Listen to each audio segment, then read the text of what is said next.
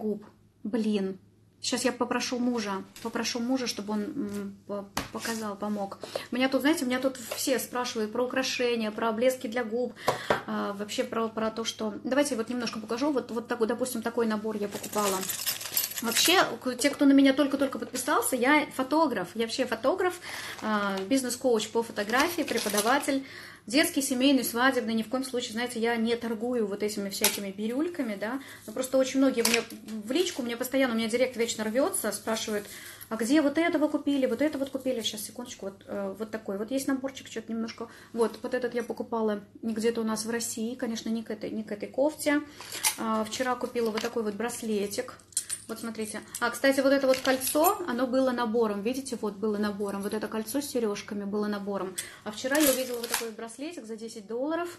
10 долларов. И смотрю, думаю, блин, как оно классно подходит к моему, к моему колечку. Вот к этому. Такой вот классный браслетик. А вот такие вот на той странице и не оторваться. Да, смотрите, смотрите, я буквально, буквально два часа вещала именно про визу, визу для талантливых людей, визу для творческих и одаренных, и экстраординарных людей, как все-таки получить, как все-таки попробовать, да, мы на данном этапе, еще раз я говорю, у меня постоянно, постоянно, постоянно столько вопросов, мы здесь проживаем 6 месяцев, штат Майами, э, штат Флорида, Майами, первую стадию одобрения мы прошли, то есть нам дали, нам комитет одобрил, как талантливым человеком, мы очень долго, очень много всего собирали, в том аккаунте посмотрите, много всего интересного рассказываю, сколько было сложностей. Вот. Но сейчас мы ждем еще последнего подтверждения, и, возможно, на протяжении трех лет мы сможем работать, э, работать официально, легально, работать и зарабатывать в Америке. А, кстати, вот по поводу украшений, смотрите, такое, я очень люблю что-то такое огромное, громоздкое. Иногда люблю очень утонченные вещички. Вот такой вот такие часики я покупала набором за... Они недорогие, по-моему, за 20 долларов. А, вот в этот набор в коробочке, видите, смотрите, здесь такой вот веревочка с, с якорем. А, дальше, ну, браслетики. Кстати, к этому набору еще, Сережа, я, Сережа, можешь показать веревочки, которые у тебя на руке одеты? Зай, можно? Сейчас я мужа попрошу. То есть в этом наборе еще шли два шнурка кожаных. Привет, привет, привет. Сейчас, сейчас я расскажу, да. Собрала здесь всякие эти сережки. Вот такие вот сережки я покупала стеклянные, ручной работы, handmade. Такие вот они стекляшки. Очень классные. Хендмейдовские сережки. Вот такие. Вот у меня есть тоже стекляшки. Такие, знаете, это... Э, спасибо большое, часы классные, да. Ребят, здесь очень много всего. Вот я говорю, я какая-то больная на вот эти все бирюльки. Вот тоже стекляшки. Такие вот стекляшечки тоже покупали Здесь ручной работа. А, сейчас еще покажу. Так, ну это браслетики. Это мне тоже здесь подарили. Браслетик такой стар, Сваровский. Брошечки. Я вот очень люблю вот все такое вот. Фотограф, брошечка. Вот. В общем, конечно, да, у меня очень много этих украшений. Может быть, просто отдельно как-нибудь я просто сделаю пост, выложу, какие у меня есть. Сережа! Он меня куда-то ушел. Мусор, наверное, выбрасывать. Вот такие вот. Очень люблю длинные серьги, но э, мне сказали, что нельзя длинные серьги носить. Там надо как-то носить, чтобы длина была, чтобы не касалась шеи, не касалась шеи. Люблю вот такие большие громоздкие. В общем, в общем, бирюлик, бирюлик много, очень люблю вот эти все побрякушки. Так, давайте, пусть блеск несет. Сейчас, сейчас попрошу косметичку. Доча, Ясь, солнышко, принеси, пожалуйста, косметичку в ванную, у меня лежит. Серенькая такая. По-моему, все спрашивают, где купили. Часы классные. Ребят, здесь вот, э, здесь везде, на каждом шагу очень много всего. Вот в Walmart магазин заходишь, даже вот простой продуктовый, в Индиксе, ну, прям очень много всего. И э, заходишь огромный гипермаркет, и здесь тебе и кроссовки, здесь тебе и купальники и побрякушки, колечки. Вот, кстати, вот это тоже вот наборчик. Ага.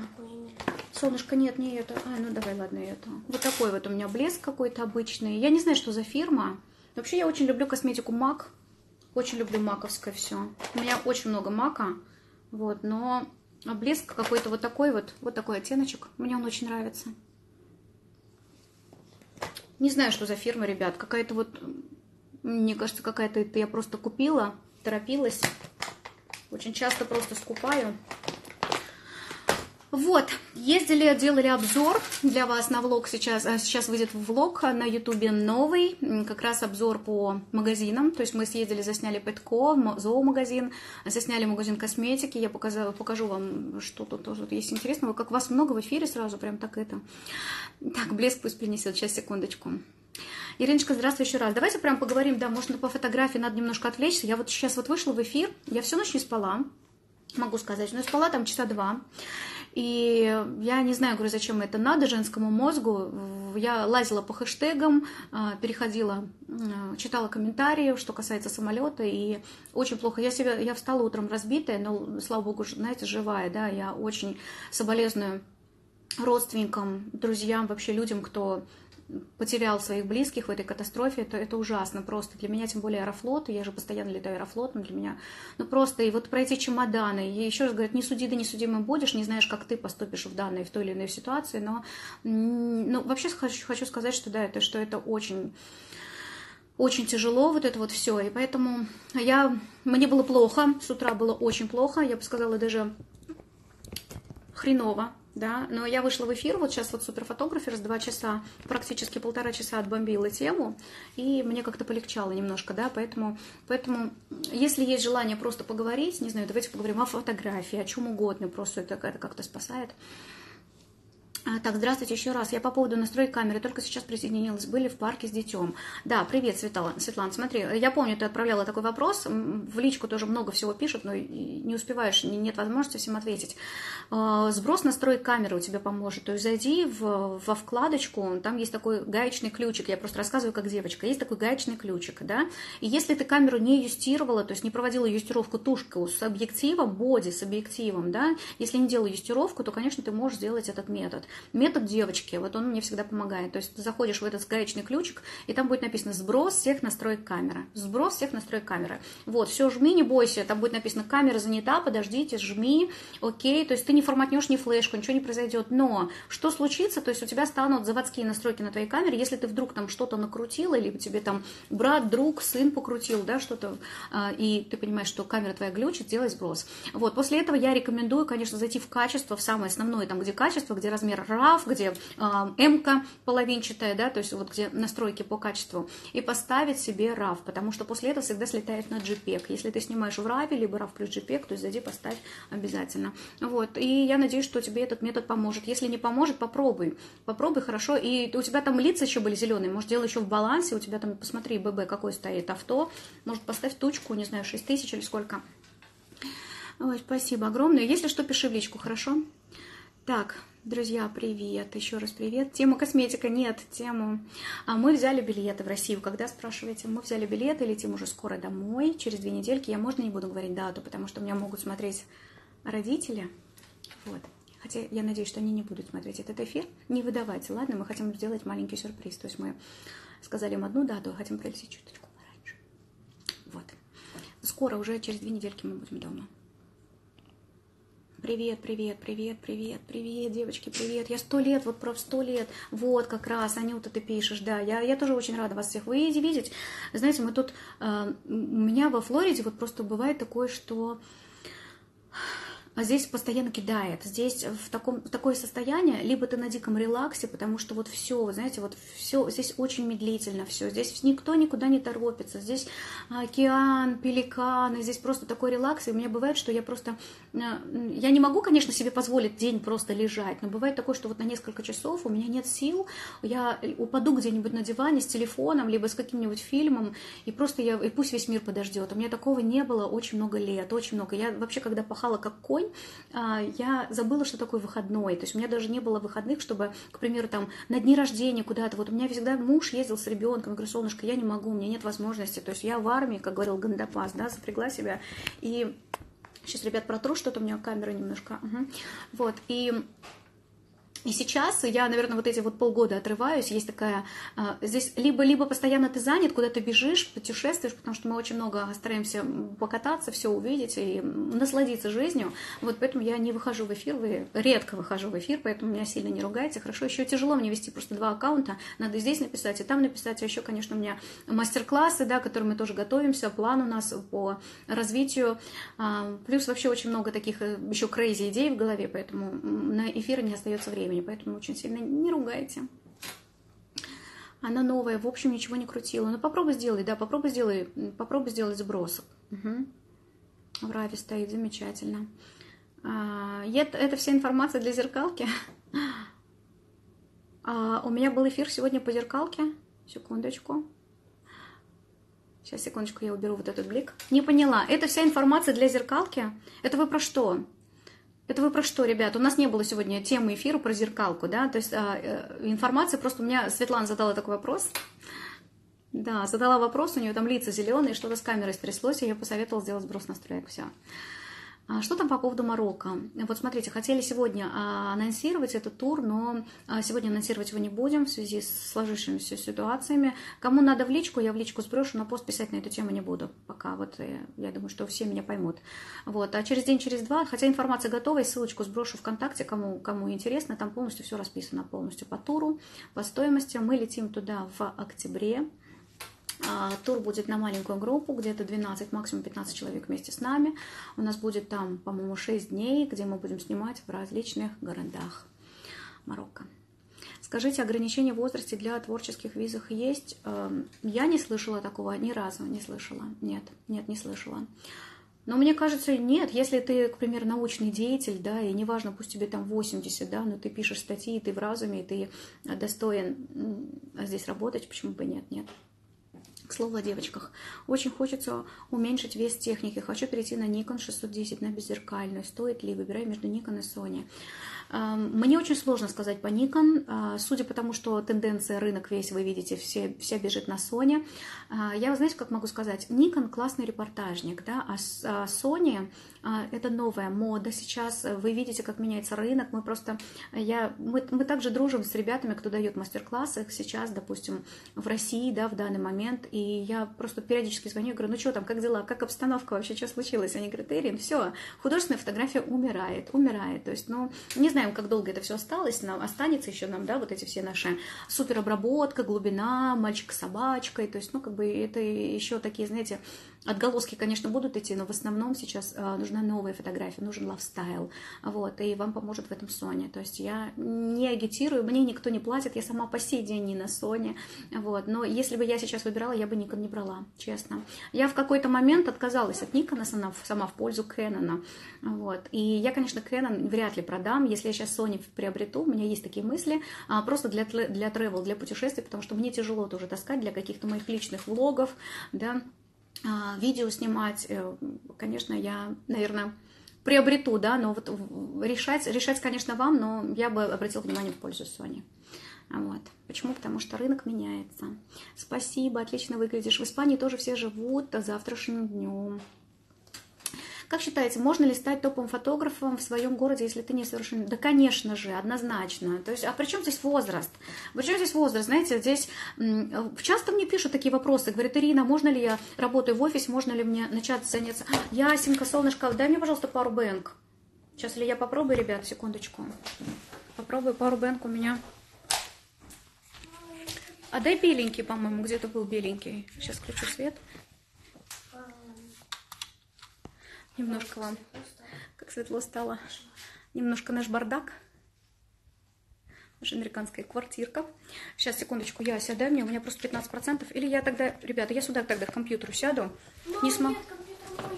А, ты уроки делаешь? Сори, ребенок делает уроки. Так, а где-то у меня зарядка была. Давай тогда сюда подключусь, Зай.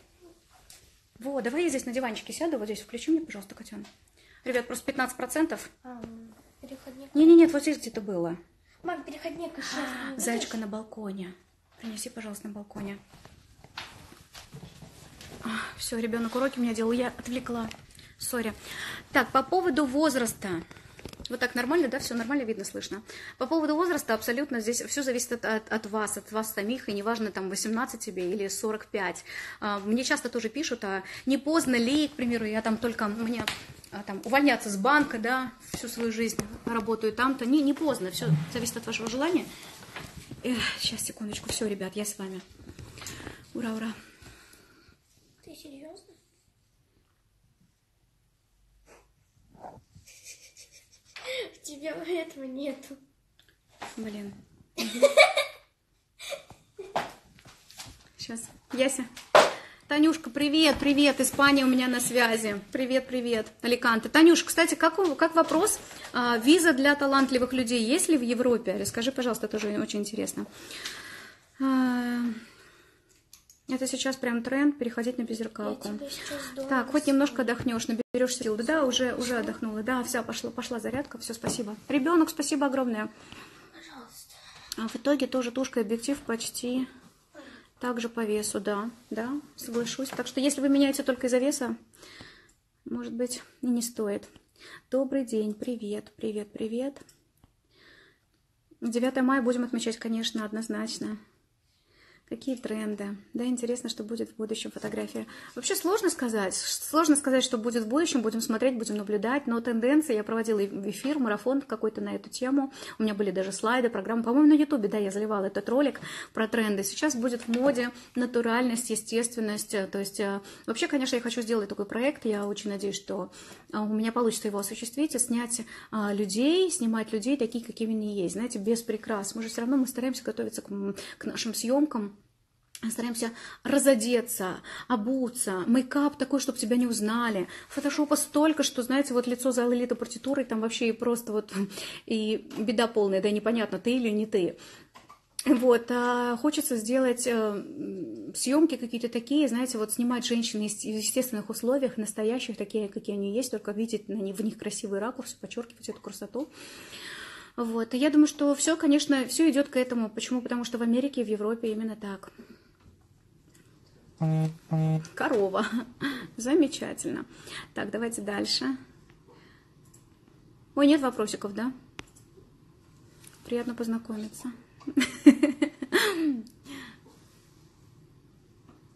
Что, ты делаешь? Делаешь уроки? Зайчка, иди немножко расскажи что-нибудь по-английски, да? Что-нибудь поговори. У меня там 156 участников в эфире. Ребят, можешь... Доделаешь уроки? Расскажешь что-нибудь на английском? Ты у меня это не прочесалась? Нет. Я только проснулась. Знакомьтесь. Знакомьтесь, моя Яся. Яся, расскажи что-нибудь на английском. Что? Ну, что-нибудь. Ну, расскажи, расскажи, поговори чуть-чуть, скажи, какой сегодня прекрасный день, как у вас дела, ну, без разницы. Today is so good day and I'm so fat. Ребят, можете, да, можете написать какие-нибудь вопросы, Яся. Яся с вами побеседует на английском, мы пока еще не так можем.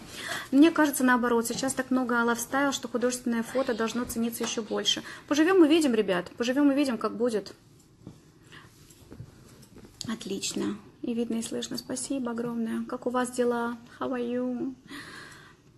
Никон беззеркалка тоже супер, замечательно. Да, кстати, Никон лучше, чем беззеркалка, чем Canon. Какой критерий у талантливых людей? Чудесно выглядишь, светишься. Спасибо огромное. Какой критерий? Ну вот я проводила сейчас вот эфир на эту тему, долго рассказывала. Там прям как раз по пунктам, прям посмотрите, пожалуйста, в эфире Super Photographers. Я рассказывала там прям пункт по пунктам, там 10 критериев, по которым вы должны соответствовать. Если хотя бы по трем соответствуете хорошо и качественно, то вы пройдете. А вот. А лучше, конечно, все 10, хотя бы 5-6, чтобы у вас были. Вот. Ну, конечно, сложно. Вот я сейчас проводила эфир, рассказывала, и ребята писали, какой-то это квест. Это, это, это тяжело, это не так просто все, как кажется, но можно. Привет из Самары, привет, я скоро буду в Самаре. Привет из Екатеринбурга, ждем вас на МК в сентябре. Буду, буду, и Екатеринбург тоже будет в списке. Какой лучше фотоаппарат 6D Mark 2 или Canon 5D Mark 4? Однозначно второй вариант. Однозначно второй. Вообще, конечно, 6D не берите. Многие потом мне просто пишут, они же говорят, это же как, это же Mark 3, но это 6D Mark 3, это не 5D. Лучше, я бы лучше взяла Canon 5D Mark 3, да, чем 6D Mark два дам, да. Почему? Потому что, например, я вот снимаю, у меня стиль съемки такой, я в последнее время мало что выкладываю профессионально, но поверьте, у меня есть на то основание, да, очень много, очень много материала на рабо- как бы в наработках, мне есть что выкладывать, но пока, пока, пока пусть будет так, я чуть позже тоже расскажу, почему и по какой причине, потому что вы тоже в личку пишете. Вот, а, значит, а, почему? Потому что, к примеру, у меня по стилю съемки я в основном снимаю на открытую диафрагму. Открытая диафрагма, и даже если на солнышке, то есть у меня картинки такие светлые, легкие, воздушные, без жестких теней. И чтобы так снимать, я делаю выдержку 8 тысяч. 8 тысяч на солнышке. А в 6D у вас максималка 4 тысячи, увы. Сори. Поэтому берите Canon 5D Mark 3 или 4. 5D Mark 3 или 4, они особо сильно отличаются. А, допустим, ну там добавились функции сенсорный экран, там, допустим, Wi-Fi, есть какие-то такие, знаете, вот легкие такие преимущества, но по картинке, что трешка, что четверка, меня вполне устраивало. Но второй не очень устраивал. А, кто-то мне там, я помню, в каком-то эфире я сказала на эту тему, говорит, сейчас Настя будет тебе там писать из Германии, она очень любит 5D Mark II. Ребят, если любите, ради бога, я же никого не агитирую, просто я рассказываю свое мнение. Когда у меня, я довольно-таки много лет, долгое, долгое время, свадебщик, я когда работала свадьбами, активно занималась, я работала именно Canon 5D Mark Mark II, у меня их было много. Я всегда бегала сама с двумя тушками. У меня муж ассистентом подрабатывал на свадьбе, тоже помогал. И мы работали именно на 5D Mark II, но когда у меня появились, появилась первая тройка, мои все двушки вообще лежали, я их даже трогать не хотела. Почему? Потому что они там запылились, потому что я это не хотела даже брать в ручки картинки, в руки, потому что картинка была хорошая, да, то есть, ну, сколькими трудами она добивалась. Почему? Потому что 85.1.2 медленная линза, на Намар 2, точек фокусировки 9, да, не 61, как сейчас на третьем, так что вот а, все на любителя. А, я бы лучше взяла 3 или 4.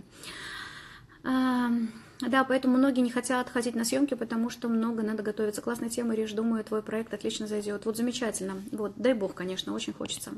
85, 1 4 тяжелый, тяжелый, да, согласна. У меня 85, 1 и 2, это еще предыдущая версия, старая, тоже тяжелый, но он стоит того. Я тоже туда-сюда с этими цветами в обработке пришла к выводу, что натуральные цвета это круто. С какой камеры начинать? Посоветуйте, пожалуйста. А, тут а, начинать можно с любой камеры, ребята. Было бы желание, то есть надо сначала определиться, что ты хочешь снимать. То есть у меня, у меня просто сейчас да, на страничке очень много новеньких, очень много молоденьких, наверное, мам, кто только-только начинают свой путь фотографии. Вначале просто поймите, что вы хотите снимать. Если вас тянет именно к детской фотографии, вы фотографируете дома, на телефон, не, не выпуская из рук, фотографируйте своего малыша и вам хочется, э, ну, допустим, в декрете в чем-то себя проявить, вы понимаете, что вам нравится заниматься фотографией, почему бы, почему бы не использовать, да, но, конечно же, на телефон и на фотоаппарат разница большая, то есть я не рекомендую сразу бежать, и если есть свободный бюджет, если есть деньги, конечно, можете позволить себе купить сразу пойти нужную камеру и пробовать работать, но для начала можно, знаете, можно взять у друзей, если есть зеркалка, попросите на выходные. У меня вот именно такой же выход был а, впервые там вот 10 лет назад, то есть мы взяли у друзей зеркалку, и у меня башню снесло за выходные, я поняла, поняла, что же я хочу делать и чем я хочу заниматься. Вот, а, можно взять в прокат, можно, к примеру, там начать с какой-то базовой, с базовой камеры, к примеру, когда вы фотографируете на телефон или на мыльницу, да, и впервые в руки возьмете даже, пусть даже Nikon D3000, да, с китовым объективом, будете, вам будет казаться, что вы делаете шедевры. Почему? Потому что, ну, это это круто. Хотя есть другая ситуация, очень многие покупают камеры и профессиональные, и им кажется, что они сейчас делают такой шедевр просто, фотограф уровня бога. На самом деле ничего не получается. Получается, что надо разбираться в настройках, получается, что говнище какое-то получается, да, не, не получается. Нет, ничего не горит. Нет красивой какой-то фотографии, поэтому тут надо еще, да, в первую очередь определиться, кого ты хочешь снимать, что ты хочешь снимать.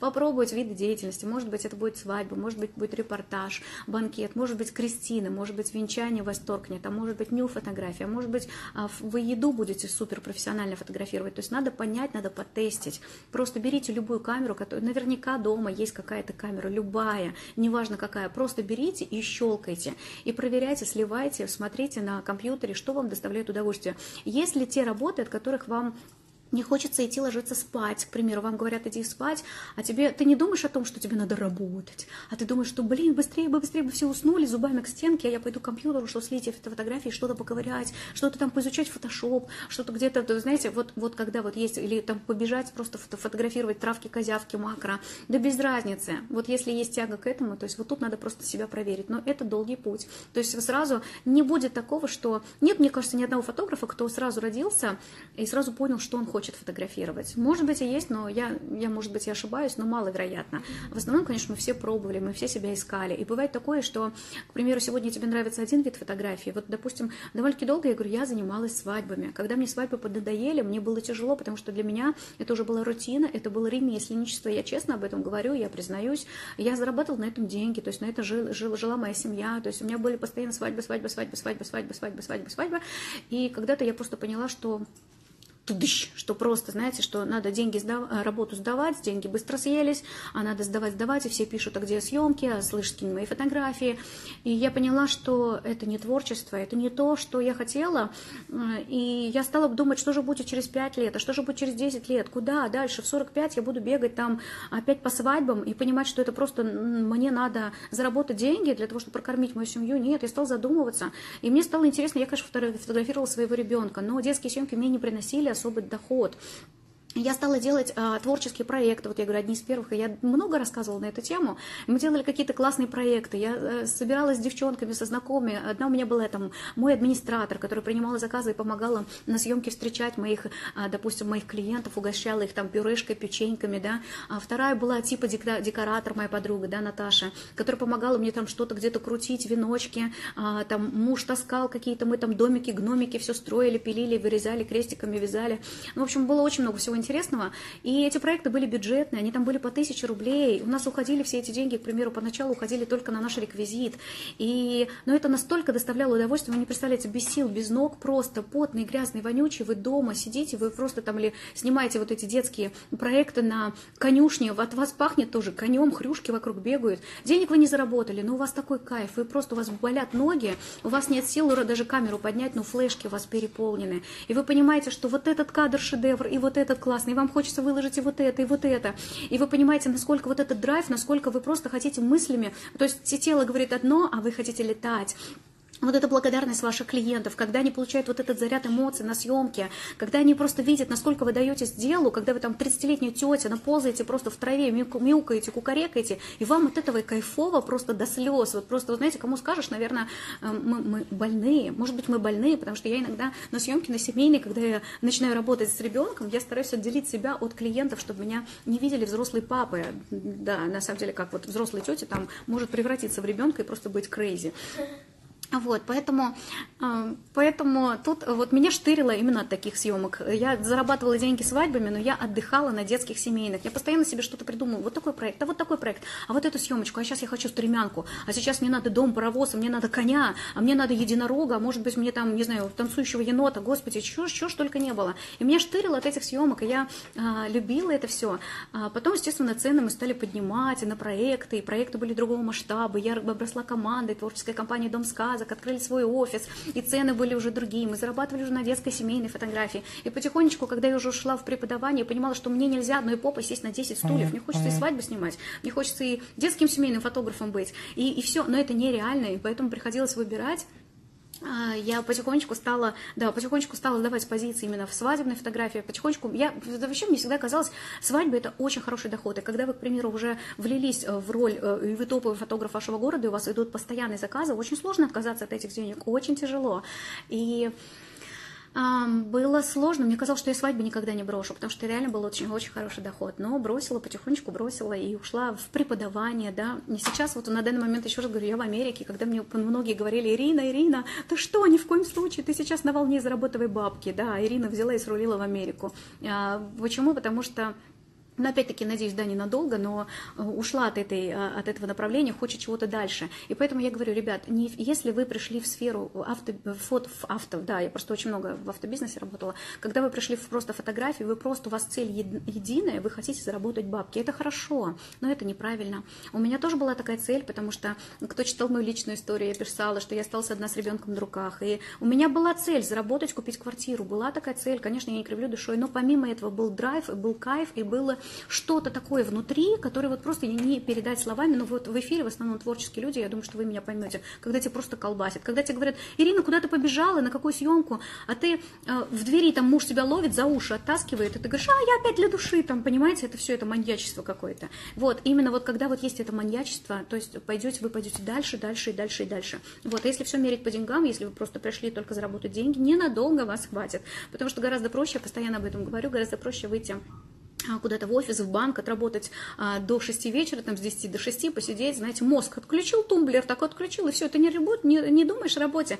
Ты пришел домой, занимаешься ребенком, ты занимаешься там какими-то другими вещами, но не думаешь абсолютно о фотографии. А если ты э, фрилансер, если ты фотограф, конечно же, ты с утра до поздней ночи ты будешь думать, какой новый родить проект, а может быть эту девочку вот сюда, в эту локацию, а может быть тебе вот этого сотворить, а, твои конкуренты тебя обгоняют, что-то они делают новое, тебе надо что-то дальше, и ты, и ты постоянно в этой гонке, гонки, и ты постоянно пишешь эти посты, потому что, ну, как бы без, без э, продвижения ты не коммерческий фотограф, ты можешь фотографировать для себя, а деньги-то где? Если тем более ваш муж вас вкладывает, вы простите, что я так включилась и прям поперла, поперла, сейчас расскажу, а, отвечу на ваши вопросы. Просто очень часто э, мужья наши думают именно не так, как мы, да, если, к примеру, он вас вложил, там, подарил вам камеру, сегодня объектив, завтра, послезавтра еще что-то, да, дай бог ему здоровья, да, такому мужу, и просто на него молиться надо, но рано или поздно мужской мозг начнет считать, он будет понимать, а где же, а где же оправдание, да, вложений, то есть э, он видит, что женщину все больше сносит, женщина все больше дома еду не приготовила, полно вещей, которые валяются, да,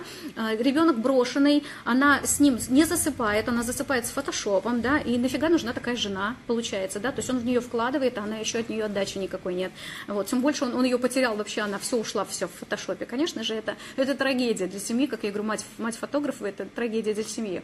Вот, но если, да, если будет финансовая отдача, то и, в принципе, муж, муж будет мыслить иначе. Есть такая на меня смотрит, так, с какой камеры начинать? С любой, еще раз ответила на вопрос, с любой камеры было бы желание с любой. Вы потом поменяете одну, вторую, третью. Как только вы почувствуете, что вы из этой камеры выросли, что глаза ваши видят одну картинку, а вы фотографируете, у вас нифига не получается, вы видите совершенно другое, и какие бы вас настройки не крутили, у вас совершенно другая картинка, конечно же, вам надо будет менять или камеру, или объектив, то есть не обязательно камеру. Я всегда говорю, картинку рисует а, объектив, то есть линза, линза.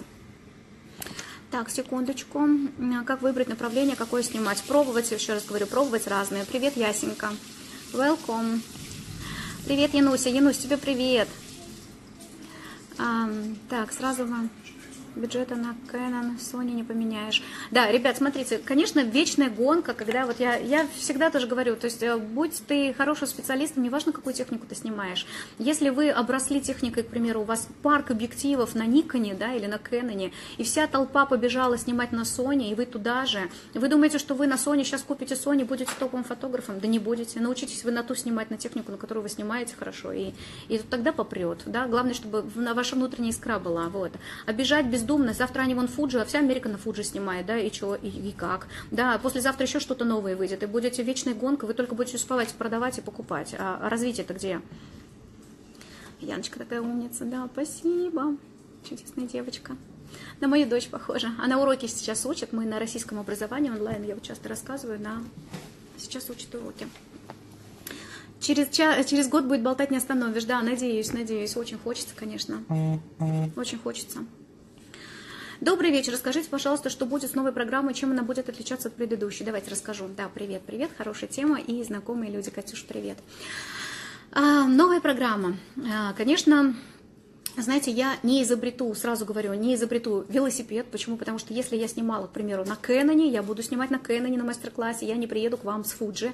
Вот. Э, если я снимала всегда на 1.4, и стиль моей съемки такой вот сказочной работы, фотографии такие сказочные, конечно же, я стараюсь снимать что-то стильное, современное, интересное, тем более за последние полгода я поднапиталась Америкой. У нас будет, у нас будет что-то такое, чего еще я не делала раньше. То есть, конечно же, э, в программе, насколько вы знаете, в мастер-классе мы всегда даем большую практику. То есть это идет и детская детская съемка, это какая-то и сказочная съемка, и story, что-то стильное, интересное. То есть съемок будет несколько, но одна из них, возможно, две, будет уже немножко с таким американским уклоном. Это будет что-то стильное, будет интересное, не то, что, а, не то, что раньше. А вот. Что касается программы, программа будет больше направлена про обработку. Конечно, не знаю, всем интересно про обработку. Я буду показывать, ребят, но я не буду учить, если вам хочется изучить Photoshop просто, знаете, маска-слой, а, допустим, частотное разложение, это не ко мне. Ради бога, не приходите ко мне на мастер-класс за этими вещами. Это вот просто открываете Google, открываете YouTube, и все у вас там будет. Я буду преподавать не это. То есть у меня а программа направлена на мотивацию. Конечно, будет, обработка будет, но я буду делиться своими экшенами, как я делаю быстро и четко. И, и вот самое главное, быстро. Я работаю плагинами. И последнее время, вот чем дальше, тем больше, то есть вообще просто, это там два притопа, три прихлопа. То есть я покажу, как это делать быстро. Я поделюсь своими методами, которые будут делать быстрый хороший результат. Да? Работа с кожей, работа а, с какими-то другими фишечками да, в фотошопе, в основном это будет, э, в основном это будет быстрая обработка с моей, с моей помощью. Дальше будет э, программа именно по мотивации для того, чтобы вы встали, пошли что-то начали делать. То есть э, я очень надеюсь, что мне хочется давать другую программу, хочется давать что-то новое для того, чтобы зажечь ваше, вас искру, да, чтобы она не гасла, чтобы вы просто, чтобы было дикое желание что-то изменить в вашей жизни. А я думаю, что у меня это обязательно получится. Вот. Так что, конечно, да, маркетинг, продвижение без этого никуда. Вы видите, что э, это неотделимая часть нашей профессии, поэтому это, этот блок по маркетингу, по продажам тоже будет обязательно.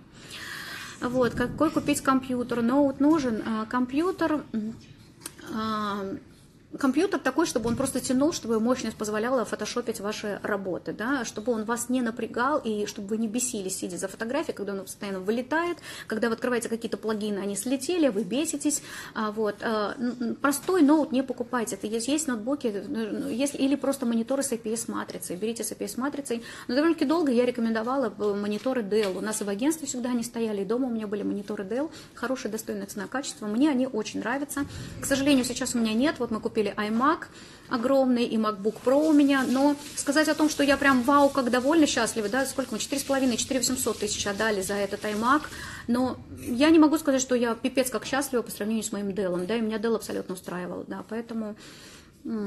Поэтому, может быть, не сильно дорогой, проанализируйте с APS-матрицей, э, то есть системный блок, чтобы тащил это все, да, с хорошей памятью, с оперативкой и хороший монитор, на котором можно работать.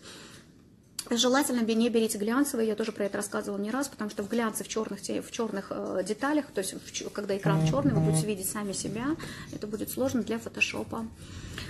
Вот. Здравствуйте. Была ли у вас акклиматизация? Не было. Мы сюда приехали осенью, погодка была такая, что вы видите, мы из лета, то есть осень была там, мы сюда влетели, но может быть, да, конечно, погода сильно отличалась, Атлантика, тепло, но мы приехали в зимний период, а в зимний период здесь мы вечерами даже и кофточки одевали, и купались, конечно, в океане, но купались редко, а климатизации не было. А сейчас, если бы мы прилетели, допустим, из зимы сейчас в, местные, в местную погоду сейчас, я бы застрелилась, реально это было бы, это было бы очень тяжело. Я думаю приехать на месяц к друзьям и думала взять пару съемок. Теперь думаю, насколько это страшно вообще после вашего эфира. Малость напугана. Ребят, смотрите, если вы не планируете получать здесь никакую визу, если вы не хотите, э, чтобы вас там потом пробивали и проверяли, да, конечно, никто не мешает. Приехала, как это многие делают, да, срубила баблишко и уехала, смоталась и больше. Но не факт, что в следующий въезд, еще раз говорю, американцы в этом отношении молодцы. Не факт, что в следующий въезд вас просто впустят. Они просто без, основ... без, без причины, просто вам, вас развернут в аэропорту и вы вылетите домой. Вылетите домой. Так что вот, а как бы если есть на, наметки на дальнейшую работу, не, не делать неправильно. Вот. Немножко на английском. Сейчас, секундочку. Какие курсы вы заканчивали в начале пути? Как начали снимать и как искали? Давайте расскажу. Просто, да, наверное, очень много. Поставьте сердечки, кто мне новенький в моем эфире. А, по поводу курсов. Я самоучка, у меня довольно-таки... Когда я начинала в 2010 году, гром гремит. У нас гремит гром, так классно. Ливень идет, да? Прикольно, во Флориде ливень. У нас настало лето и пошли дожди. Вот мы сейчас как раз, сейчас каждый день будет идти дождь, каждый день. То есть вот такой вот будет здесь лето. А сезон здесь, наоборот, с октября по апрель. Ясик, иди что-нибудь тоже расскажи на английском. Сейчас я расскажу, да, про курсы. Почему не на английском? Ну, на английском что-нибудь или на русском. Может, да, может, есть какие-то вопросы. А, по поводу курсов. Я самоучка, когда я начала в 2010 году, не было вот информации, я часто про это рассказывала, не было где ее взять. То есть у нас были фотографы, к примеру, свадебщики в нашем городе. Но, знаете, если бы вдруг кто-то... Никто не делился, вот не было каких-то... Представляете, Инстаграм в 2010 году, и бесплатные марафоны, где куча спикеров выдает свою бесплатную информацию. Да я бы просто, вы представляете, я стартанула бы через месяц, просто. Почему? Потому что раньше а, я не могла написать, слышь, ты, как ты ты фоткаешь, какие у тебя ISO, выдержка и диафрагма. Сейчас везде, во всех эфирах все это говорят. У меня нет никаких секретов, я уже очень много лет подряд, я все рассказываю, мне на страничке показываю. Бесплатно провожу эфиры, марафоны. Смотрите, зайдете вот сюда, делайте вот так, нажимаете на эту кнопочку, получаете вот так. Раньше вообще этого не было. И мне было неудобно кого-то спросить, как он снимает, на какую камеру. Ну, это сейчас, да, сейчас он все прям без здрасти просто пишут, и стараешься тоже все равно всем отвечать. Вот. Но а, это мой путь, это был метод проб и ошибок. То есть я, у меня была первая камера Nikon D3000, я об этом тоже писала, как-то и рассказывала, и не раз рассказывала, да, то есть у меня была, был, был развод, была жуткая депрессия, фотография меня очень сильно спасла. Я не думала о личном, я просто уперлась в работу, да, естественно, конечно, очень скоро меня эта камера, через полгода она меня перестала устраивать, мы купили новую линзу, мы потом со временем, когда я стала понимать, что я хочу заниматься свадьбами, коммерческой съемкой, я уже приобрела себе э, хороший фотоаппарат Canon 5D Mark II, но опять-таки э, у меня, еще раз говорю, не было возможности, чтобы я, знаете, достала из правого кармана, я жила в маленьком городе. Я приехала к ребенку, с, с ребенком на руках, к родителям в область, маленький городок, поселок, поселок, да. И когда мы купили камеру за 120 тысяч рублей, у меня не было этих денег, у меня не было в правом кармане, здесь 120-150 я дошла, достала и пошла купила, не было такого. Почему? Потому что кто мне их дал? Никто. Я написала бизнес-план, на тот момент была такая программа «Поддержка малого бизнеса». А мне там было оформиться ИП, как год существовать как индивидуальный предприниматель, и мне государство дало 58 800. Вот эти вот эту сумму, но не просто так дали, да, то есть, естественно, много пугали, мне говорили, Ирина, надо написать бизнес-план, надо идти на курсы, да ты не защитишь свой диплом, с какой стати, с какой перепуга, какой ты фотограф, да, но я фотографировала и заказала тогда маленькое портфолио, у меня была книжка «Портфолио 2010», и я написала бизнес-план, где я просто все свои желания, все, что у меня было, я написала. Я не ходила на никакие подготовки, написала о том, что я хочу быть детским семейным фотографом у нас в маленьком городе в Балахне. Но у нас не было никакой студии. И чтобы наши детки, к примеру, это час езды до Нижнего Новгорода, там тогда появилась первая студия полипропилена, по-моему, 11 год, что ли, был, не помню. Да, в 11 году у меня появилась Canon 5D Mark II. И я написала, что мне не хватает, у меня плохая техника, мне очень хочется фотографировать детей. Я в дальнейшем планирую открыть фотостудию в нашем родном городе, я хочу фотографировать деток. И э, прикрепила вот это свое портфолио, приложила к этим документам буквально через несколько дней, без всякой защиты, без всего. Мне просто позвонили и сказали, Ирина, ваш бизнес-план одобрен. Представляете, я тогда тоже, государство просто так на халяву дало, 11 год, начало 11 года, 58 тысяч 800 рублей, просто так, да, ну просто так ничего не бывает, да, я зарегистрировалась как индивидуальный предприниматель, я купила за 120 тысяч рублей, мы тогда продали все, что у меня было в Никоне, может еще там что-то я продала, я не помню, я всегда мужу говорила, мне не надо никаких шуб, мне вообще ничего не надо, мне надо камеру, мне надо линзу, мне надо объектив, я хотела просто фотографировать. И я поняла, что я же, понимаете, 11 лет назад, когда я пошла на свадьбы, я не спрашивала, а какой мне вид съемки выбрать, а как мне сделать так, чтобы через 10 лет я оказалась в Майами. Ребят, вообще не было, таких планов не было, я просто, меня просто колбасило от того, что я фотографирую, мне это нравилось. Сейчас, секундочку. И да, и родственники, друзья, когда мы там кому-то говорили, что мы купили за 120 тысяч рублей камеру, представляете, это, конечно, нас крутили все у виска и говорили, что мы больные, что, ну, реально, жрать-то нечего, а мы за 120 тысяч рублей камеру. Да, вон ясь, ясь у меня маленькая была, еще малышка была совсем, мам, мало, мало что знает, да, наверное, в, этом, в, этом, в этой теме. Ну, в общем, как-то так потихонечку, вот я вам рассказала свой путь, как с чего начинала, я сфотографировала сама, методом проб и ошибок, я сливала свой материал, я листала форумы всякие разные, я выкладывала свои фотографии на нижегородские порталы, есть такой портал nn.ru, где меня просто обзывали по полной программе, когда я писала, что ура, и поздравьте меня, я купила камеру, и вот мои первые снимки мне писали, ну и говнище у тебя, э, горизонт завален, а, смотрит в край кадра, э, композиция какая-то, что-то тут, принцип золотого сечения, я думала, господи, кто такой горизонт, я вообще не понимала, думаю, как мои шедевры, мне тогда казалось, что я такие шедевры делаю. Мне вообще просто, меня трясло от того, как, представляете, на Nikon снимал D3000, а тут Mark 2 купила с 2405 в 2011 году, заработала на эту камеру и хотела снимать, выложила. И меня там постоянно гнобили, постоянно писали, здесь не так, тут не так. И огромное им спасибо за этого. И я училась, я понимала, кто такой горизонт, да, вообще, что такое горизонт. И я старалась здесь исправить, тут исправить. И сейчас я понимаю, на самом деле, когда вот, э, вот огромное спасибо этим бородатым дядькам, вот э, таким матерым фотографам, кто когда-то сидел на форуме. Вот такой был у меня путь. Я выкладывала фото фотографии, анализировала, мне писали что-то не так, девочка стоит сильно в траве, ног не видно, обрезанные ноги, где у девочки ноги, девочка инвалид. Я такая, ой, точно, блин, а я не видела таких вещей, каких-то примитивных вещей не видела. А, и вот, вот так вот, наверное, все и пошло. Вот, вот, мой путь такой. А, эфир суперфотограф. Да, он там есть, Анечка, он в течение час, а, ну, как бы час назад, вот, видать, я ее вещала, я его сохранила, так что ты посмотри. И... Сколько стоила первая фотосъемка? Вообще, конечно, первое я довольно-таки долго денег не брала. Я фотографировала садик, фотографировала школы, а, фотографировала выпускные, и я боялась брать деньги. У меня, как любой нормальный человек, как э, вообще кто, как это вообще, я, я не брала деньги. Я, меня всегда в садике занимали места. А в садике всегда мне занимали места, в, допустим, утренники, все какие-то какие наши утренники в садике. Мне говорили, Ириша, привет, мы тебе заняли первый ряд, иди к нам, проходи сюда, ты с камерой. Я понимала, что да, мне первое время мне очень хотелось, я всегда все фотографировала. Любые мероприятия, любые там утренники, везде Ира была и нужна.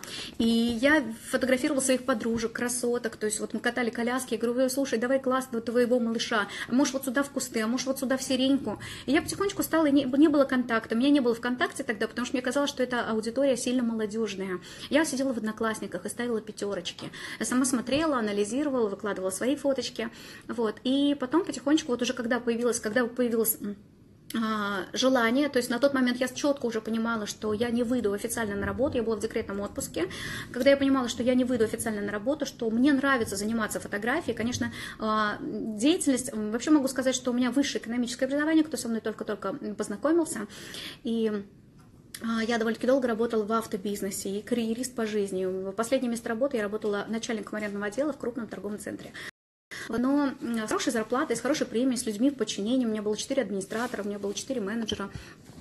Вот, но фотография настолько увлекла, что, а, что я поняла, что назад дороги нет. Яся, что у тебя? Что это такой?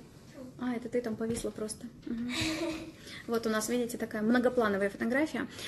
Вот, и а, первые деньги я взяла, наверное, на первой своей свадьбе. А, я, когда, когда вот у меня появился уже Марк II, у меня у папы была машина Калина. Калина. И мы на его машину вырезали, съездили в какое-то рекламное агентство и вырезали ракалом, было написано «принимаю заказы на фото, там, заказы на свадебные фотосъемки». Это был, да, 11 по-моему, год. И мой номер телефона – но, конечно, никто не звонил по этому номеру телефона, и тогда фотографы были не востребованы, снимали видео, всегда снимали на видео, на камеры снимали большие дядьки, а мы купили Sony, у меня была большая камера Sony, потом я говорю, может, я э, займусь видео, мне почему меня тянет видео, мне хочется, вот я недавно тоже смонтировала ролик на стене, я очень хочу снимать видео, потому что это немножко другое, вот если мы сейчас приедем в Америку, я обязательно пойду вот эту в школу, кинематография в Нью-Йоркскую, она, правда, очень дорогая, это еще надо грант на это получить. Вот, но очень, конечно, хотелось бы заняться именно видео.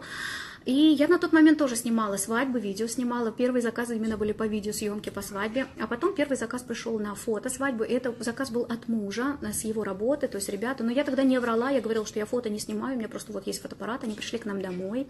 А я помню, наливала им кофе, с ними общалась, а моя Галина Матковский, семья Матковских.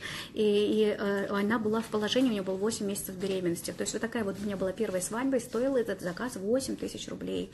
То есть как бы 8 тысяч рублей от и до. Мы проработали работали все. Я, я сама была на свадьбах не раз и гостем, и невестой. Я понимала, какие есть пункты, но мы тогда не, за, не заключали никакой договор, все это было на словах. Мы понимали, где ну, в общем, как-то, знаете, потом по этому заказу пошел второй, третий, десятый, и я стала поднимать э, заказы, принимать э, съемки, у меня были 15 тысяч рублей, 25, и это был э, на второй, конец второго года, я понимала, что у меня следующий сезон, город был маленький, и следующий сезон у меня был заполнен по заказам еще, допустим, летом этого года у меня уже на следующий год было все расписано. Я понимала, что у меня нет уже свободных дат, а, и сам, я была рада, я была счастлива, что я востребована. Я никогда не делила людей портфолийно, не портфолийно, я брала всех. Ну, как бы я брала интуитивно, приятных людей мне. Вот, одна свадьба у меня была не очень такая, вот я по сей день ее даже сейчас вспоминаю, энергетически не моя. Почему? Потому что, ну, может, я имею право сейчас на эту тему поговорить. У мальчика был второй брак, он очень не хотел фотографироваться, вообще ничего не хотел. В общем, ну, такая... В общем, в итоге они там развелись, э, не буду называть фамилии, вот, и он принципиально на свадьбе в ЗАГСе встал так, что э, когда кольца одевали, а вы же знаете, как в ЗАГСе, я вот недавно рассказывала эфир на эту тему, шаг вправо, шаг влево, расстрел. То есть я в маленьком балахнинском ЗАГСе я не могла, имела, не имела права тогда ходить по залу и фотографировать. То есть мне как поставили, вот меня где прибили, я была очень послушная, да, и где прибили, там и стою. Это я уже с опытом, посмотрите мой эфир на YouTube, я там завела, обязательно послушайте про свадебную съемку. Я там рассказывала, что я теперь в каждой дырке, в каждой шкатулке, в каждой закрытой двери стучусь и просто влазю, даже вот нос везде сую, и даже куда меня не просят. Вот. А раньше была настолько скромная, и жених специально, принципиально, то есть он всем своим видом, он не хотел платить, и предоплаты даже не было вначале, но я пошла на эту свадьбу, вот, и он стал спиной как раз, когда одевал кольца, стал спиной, и потом, конечно, у них было возмущение, то есть я там где-то попыталась обижать, но не было вот именно, как они одевали кольца, конечно, была претензия. Я говорю, да я тоже прошла огонь и воды и медные трубы. В общем, много было всего интересного. Вот, и я, наверное, вот по поводу первой съемки, да, вот, наверное, такие были цены, я, наверное, ответила на ваш вопрос, заказов было много, потом я стала брать заказы уже в Нижнем Новгороде, стала понимать, что мне надо расти дальше, а самый мой максимальный пакет был 25 тысяч рублей, и его купил в нашем городе мэр нашего города, то есть женился сынишка, и этот был пакет, сюда было включено Love Story, была включена двухкамерная съемка всего свадебного дня, и это был, а, да, это, был, это была красивая такая свадьба, и это было 25 тысяч рублей. То есть круче, чем мэр города, у нас никто не мог купить. У меня уже больше таких заказов не было. В основном всего свадьба была 15-18 тысяч рублей, в зависимости там до первого танца или на полный свадебный день. То есть много было всего интересного. А когда зимой мне надо было обрабатывать, я зимние съемки не брала, потому что я где-то там слышала, что конденсат, камера может замерзнуть, тепла в холод, из холода в тепло. И мне еще надо было этот весь ком обработать. Представляете, вы с апреля пашете, у вас очень много свадеб. А, надо всем сдавать. Если свадеб пятницу, субботу, пятницу, субботу, пятницу, субботу, пятницу, субботу, это надо все сдавать. Вот, надо было все обрабатывать, никаких ретушеров не было. И слава богу, что я не брала зимой, иначе бы я просто застрелилась. Вот, и вот эти два года становления фотографом свадебным было для меня очень тяжелые, безумно тяжелые. Я стала понимать, что деньги я съела, как бы наша семья съела, потому что люди платили частями, там платили аванс, остаток, там чуть-чуть на свадьбе давали, остаток по, по факту готовой работы. А, и а, Долги были, а денег не было. Вот. Я стала понимать, что я не вижу семью. Я тоже об этом часто пишу, рассказываю, что я стала не успевать дома, у меня очень много, у меня было чувство неудовлетворенности дикое. Почему? Потому что, э, ну, потому что я чувствовала, что... Ой, нас моргает, у нас волна такая сильная. Ребят, нормально, поставьте сердечки, мне стоит рассказывать эту тему. Мне кажется, вообще вы все обо мне знаете. Я просто вижу, что сейчас очень много ребят новых. Поставьте сердечки. Яся говорит, сейчас я выйду, поставлю сердечко. Да, я подожду. Поставьте, пожалуйста, сердечки. Если интересно, я буду рассказывать дальше. Все пошло, да. Я потом отмотаю вопросики обязательно. Спасибо, спасибо. Вы периодически меня поддерживаете, ладно, по чуть-чуть полайкивайте там, чтобы я понимала, что вы на месте, окей?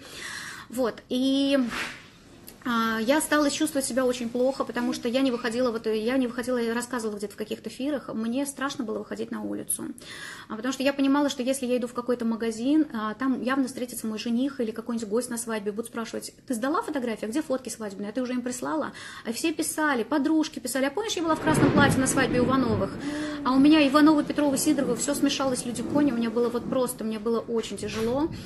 Дома, а, ребенок был брошенный, я не уделяла ей времени нормально, мы не читали книги, я не стала там, э, знаете, как мало, мало стала уделять внимание, внимание мужу, то есть этот конфликт, он в семье рос, это было страшно, и я жила в вечном состоянии, что я всем должна, мне хотелось лезть под стол и просто плакать, плакать, плакать, плакать, потому что я вроде, я не лежала на диване, я не ковыряла в носу, у меня не было свободного времени вздохнуть, я ела за столом, за компьютерным, мне вот муж там принесет, э, огромное ему спасибо, я говорю, меня очень сильно поддерживал в тот момент, и он мне принесет, сварит пельмешки какие-нибудь, я тут же ем, тут же две секунды там в туалет сбегать, и опять же тут же и без выхода. Вот знаете, утром он уходит на работу, он там в 7 утра, в 8 встает, в 7 встает, чтобы ребенка в садик, в школу отвезти, а я еще вообще вот как зомби, знаете, кровь в это, в кофе вместо в вместо крови, вот так хочется спички вставлять, и ты не имеешь права даже просто упасть на час, на два, потому что ты понимаешь, что тебе в 5 вечера сдавать эту свадьбу, а ты, к примеру, на стадии там еще процентов 90 или 80, тебе надо еще слайд-шоу залить, а я же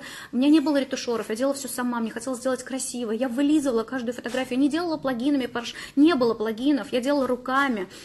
Это было очень тяжело, и э, не было времени, просто не было свободного времени. Какие ногти? Я просто забила на себя уже как на женщину. У меня вообще просто и родственников я не видела. Это как, как Гандапас говорил, запрячь себя в армию. Просто молотила, молотила, и поэтому говорю, что для меня вот это был просто доход. И как э, я помню тогда какая-то закралась возможность сделать сайт, и я видела у нас нижегородских фотографов, просто кто знает, э, в Нижнем Новгороде, э, у нас там есть музей деревянного зодчества, у нас есть музей ну, то есть очень много всего интересного. И в ботанический сад был с лианами, с такими с красивыми. А у меня были свадьбы в моем городе. Это час езды от Нижнего Новгорода. И никто не соглашался в свадебный день ехать в Нижний Новгород, терять день, время на транспорт, да, вот на это, на все.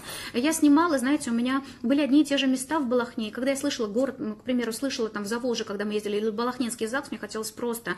Я понимала, что это деньги, но я понимала, что я не получаю от этого удовольствия. Просто я, конечно, я когда прихожу на свадьбу, я включаюсь, я снова, я люблю своих героев, я с ними шучу, мне с ними кайфово, классно, я испытываю какое-то да, удовольствие, как человек, как фотограф, но это надо было себя все равно заставить, прийти на свадьбу, и ты утром просыпаешься, и ты понимаешь, что у тебя опять, ну, как бы день сурка, опять то же самое, те же самые кольца невесты, букеты, а, одно и то же, одни и те же здания, одни и те же кусты, и ты мог фотошопить, знаете как, вот просто фотографии вокруг кусты, я могла людей вырезать, вставлять, а глубокую ретушь художественную оставлять на месте.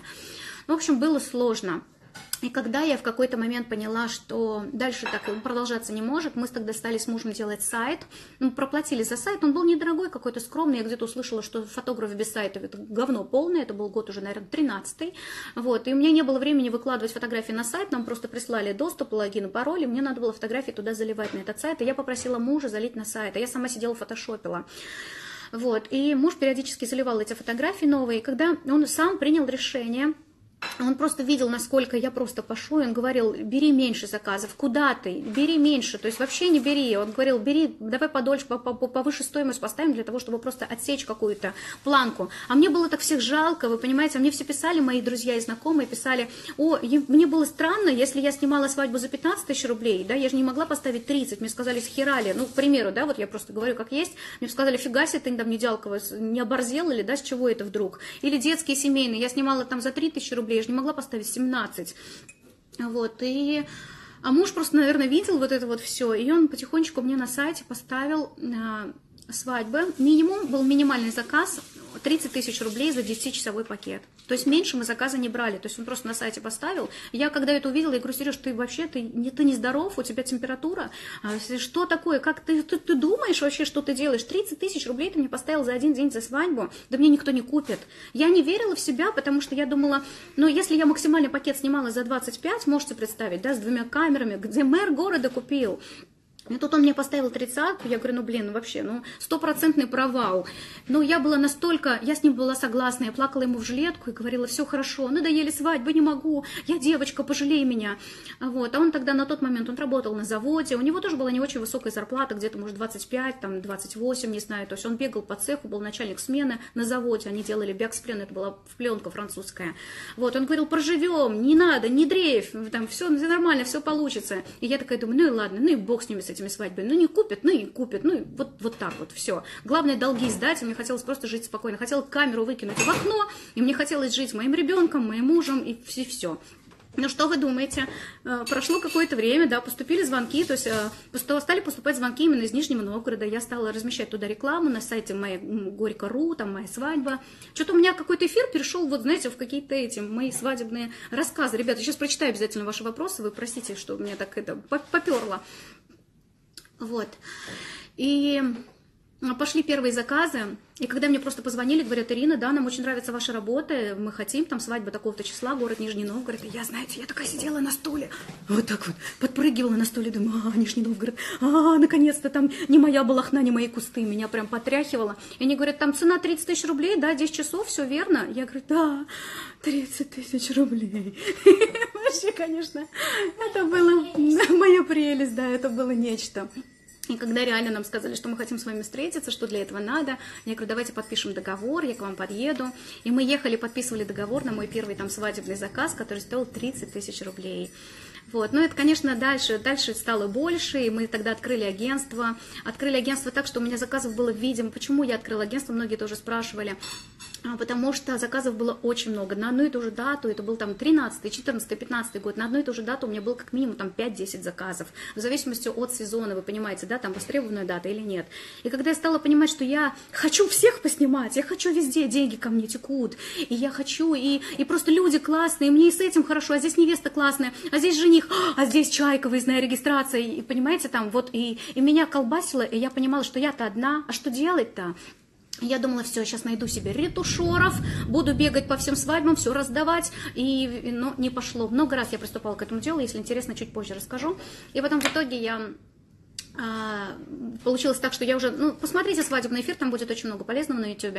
И я там рассказывала о том, что у меня появился второй мой фотограф, он, он довольно-таки долго появился, дав, давно точнее появился, свадьбы уже были там 35, базовая цена, 40, 50, 80, да, цены пошли. И а, получилось так, что у меня на одну свадьбу у меня была клиентка Юлечка, на детскую семейную съемку. Естественно, у нас остались контактные телефоны, я сдала работу, она осталась довольна, и спустя какое-то время он говорит, Риша, мне муж хочет подарить а, камеру, какую мне камеру купить? Я говорю, бери Canon 5D Mark II.